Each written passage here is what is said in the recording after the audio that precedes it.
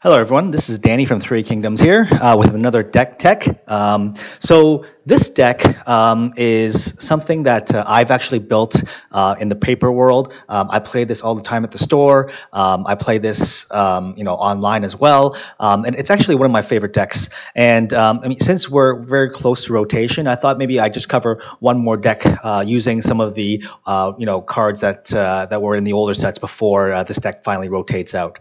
but this deck that we're going to be covering today is called Sultai Reanimator. Okay?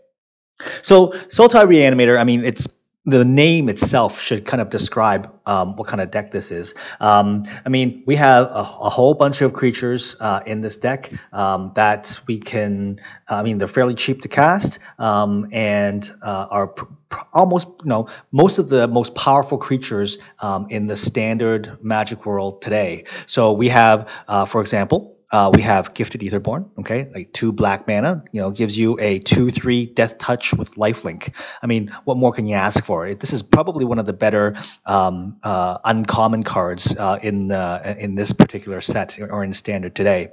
Uh, we're also running three of uh, Glint Sleeve Siphoners.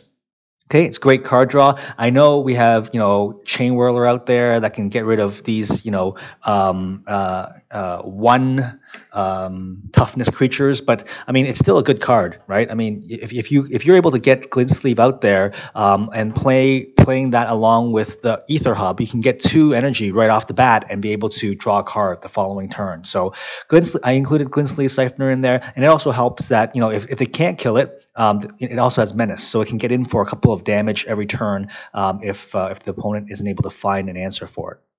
Okay, so those two are great, uh, great creatures, great two drops uh, in the Sultai Reanimator deck. Um, I've also included uh, Thrashing Brontodon in here as well. Now, Thrashing Brontodon, I have two copies of uh, of it in this deck because mainly uh, I needed to get rid of enchantments and and, and those pesky artifacts. Okay, um, and plus you know, with, with it being a three drop, it's a three four, so it kind of you know um, lives and survives, um, you know, off of abrades, off of you know lightning strikes, off of you know any of the the current standard removal. Like it, it lives through shocks, so like this is a pretty you know hefty creature that can that can survive a lot of the removal that's out there.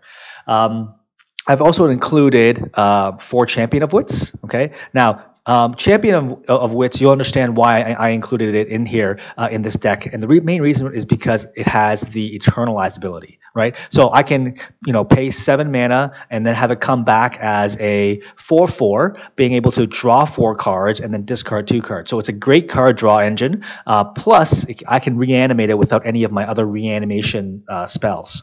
So those are the the smallish creatures. Now let's talk about some of the larger creatures on, and higher on the curve. So I have two hostage takers, great for you know great answers for all the gods that are out there, right? Any of the gods, any any of the creatures that you can't outright kill, you use hostage hostage taker, you know, take them hostage and then recast them on your turn. So that's a great card. And then I also included one copy of Gonti in here. I mean, we're playing Sultai, right? We're, we're, we're having black, so why not? Gonti's a great card. I mean, for a four, for a four drop, getting a two three death touch plus the ability to to be able to cast your opponent's cards um, is is a great uh, is, is a great ability. Now, to some of our finishers, um, far on the right. Okay, so here we have two Scarab Gods. Okay, obviously, if we're reanimating something, Scarab God is great for that, and it's it's it's great on the curve because it's, it's five mana. Um, and I mean, there's nothing else more to say about the Scarab God. I mean, it, it's just absolutely must be included in this deck. Um, I also have two Liliana Death's Majesty. Again, from a reanimation perspective, I can always um, target a creature that's in the graveyard and then bring it back onto the battlefield using her minus three ability, right? Um, and then her ultimate's good as well if, she ever does get to ultimate. But mainly, what we want to do is we want to, you know, create some chump blockers, you know, create some two-two black zombies, or we bring a creature back from the graveyard. Now, um, some of our some of our, our, bigger pieces, and I think it's the, the key to this deck is um, Muldrotha right? Muldrotha, Muldrotha, the Gravetide, allows you to cast anything from your graveyard, um, um, like, sorry, any uh, permanent, any type of permanent from your graveyard once uh, per turn. Like per your turn. So um, so during your turns, you're able to cast, you know, bring back a land from the graveyard, or you're able to, you know, uh, cast uh, a walking ballista as a creature, or you can cast a walking ballista as an artifact, right? So you can, or you can cast a Liliana uh, if somebody kills her, you know, from the graveyard. So Muldrotha again is the linchpin and the key to uh, to this deck. Now I only have two of, of Muldrotha in here because it's a legendary creature, and you definitely don't want to be holding Muldrotha at the beginning of your um, you know, of, of, the game. You want to draw into Muldrotha, so which is why we, only have two copies. And um, a couple of Vraskas, right? Vraska Relic Seekers. Again, it's a great card. Can get rid of a lot of different things. Can create chump blockers, and her ultimate's great as well. And then finally, I have a couple of Walking Ballistas in here, which I mean, you can use it as removal, right? You you cast it, let's say on four mana, and then you ping something for two, and then you can use uh, Muldrotha to recast Walking Ballista back from the graveyard. So it's a continuous uh, removal spell that you can use uh, from the graveyard over and over and over again. Okay. Now let's talk a little bit about the sideboard.